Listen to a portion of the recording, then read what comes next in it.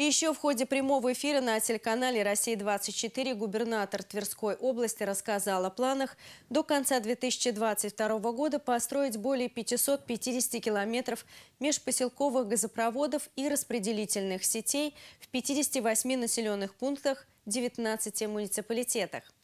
В итоге голубое топливо получит в общей сложности более 8 тысяч домовладений. Такое заявление губернатор сделал в ходе прямого эфира.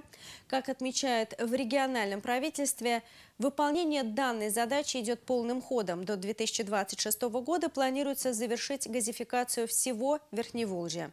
В текущем году газ впервые придет в поселки Жарковский, Молоково, город Красный Холм. В настоящее время строительство межпоселковых и внутрипоселковых сетей уже завершено. После приемки объектов в эксплуатацию будет осуществлен пуск газа.